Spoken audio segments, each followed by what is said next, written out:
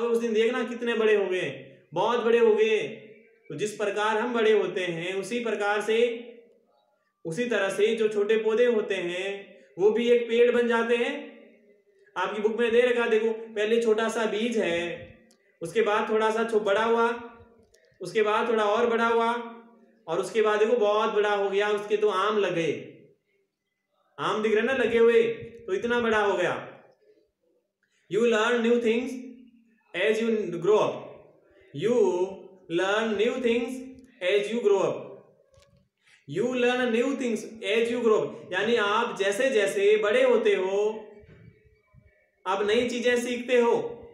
आप जैसे जैसे बड़े होते हो, क्या करते हो? नई चीज़ें सीखते हो।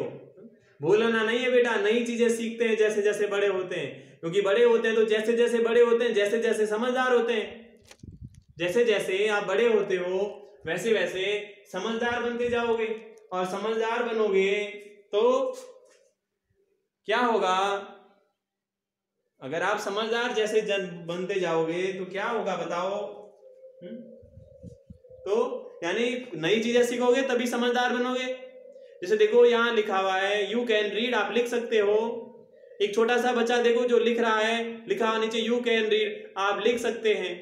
फिर लिखा you can write sorry read का मीन पढ़ना होता तो यानी आप पढ़ सकते हैं फिर लिखा हुआ यू कैन राइट आप लिख सकते हैं और यू कैन ऑपरेट कंप्यूटर यानी आप कंप्यूटर चला सकते हैं ऑपरेट का मीन चलाना होता है O P E R E T operate होता है चलाना आप देखो, जब सबसे पहले स्कूल में आए थे, आप छोटे ही थे, जब आप प्ले ग्रुप में पढ़ते थे तो आपको कुछ भी नहीं आता था। आपको एबीसीडी नहीं आती थी, आपको लिखना नहीं आता था। फिर धीरे धीरे आप जैसे नर्सरी क्लास में आए तो आपने कुछ सीखा। नर्सरी के बाद आप केजी में आए तो और आपने कुछ सीखा। और अब आप फ़र्स्ट में आ गए तो अब आपने और कुछ सीखा। यानी धीरे धीरे आप पढ़ना भी सीख जाओगे, लिखना सीख जाओगे, कंप्यूटर चलाना सीख जाओगे।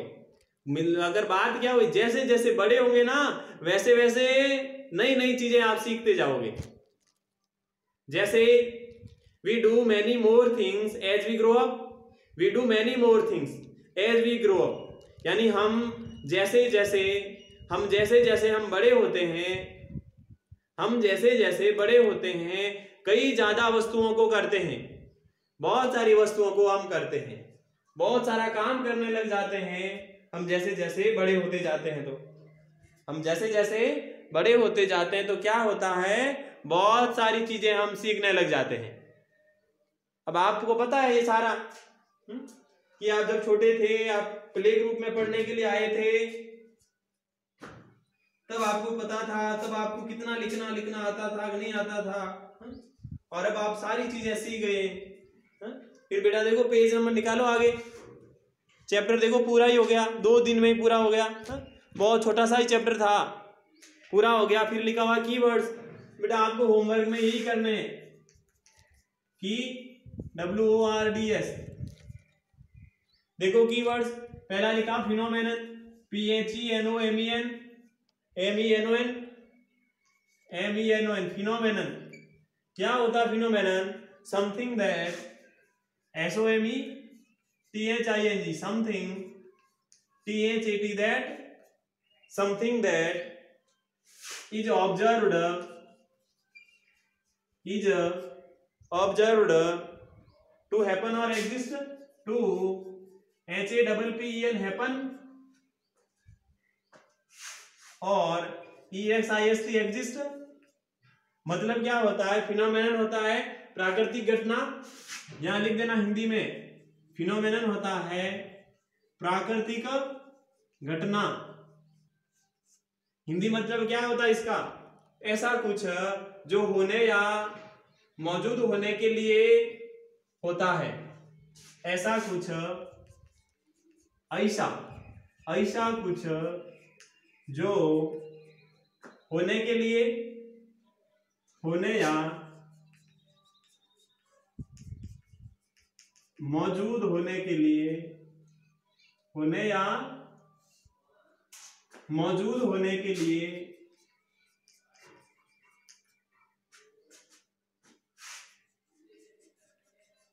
मनाया जाता है। ऑब्ज़र्व का मीन्स अवलोकन करना होता है बट यहाँ मनाया जाता है। ऐसा कुछ जो होने या मौजूद होने के लिए मनाया जाता है। मनाया जाता है। ये लिखा बेटा, पहला कीवर्ड जो है हमारा फिनोमेनन फिनोमेनन का मीन्स प्राकृतिक घटना।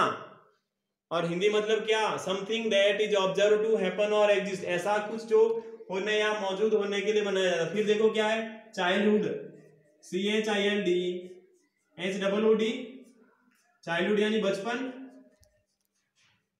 चाइल्डहुड मतलब बचपन। और ये क्या होता है? It is the period in the it is the P E R I O D period in the life of a person in the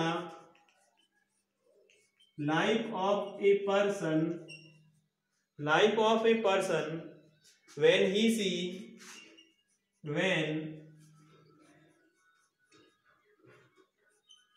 he or she is a child.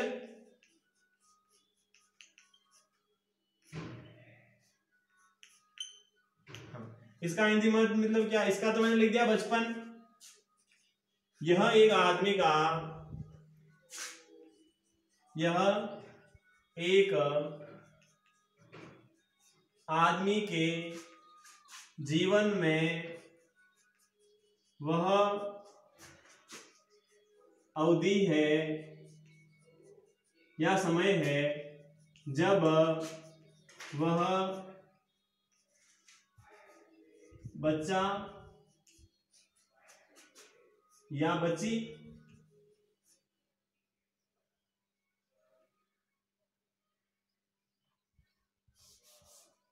जब बच्चा होता है या होती है ही और सी दोनों लिखा हुआ यानी अगर सपोज़ करो, लड़की है तो उसके लिए होती है और लड़का है तो उसके लिए होता है। मैंने होमवर्क में क्या दिया है? कीवर्ड्स दिए हैं यानी प्राकृतिक घटना।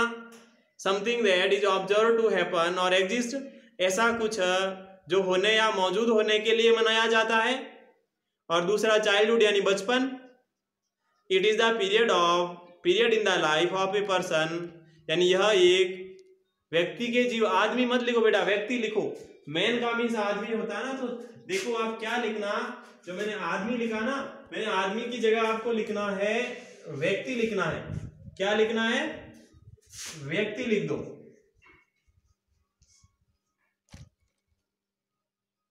यह एक व्यक्ति के जीवन में वह अवधि है, जब वह बच्चा होता या होती है।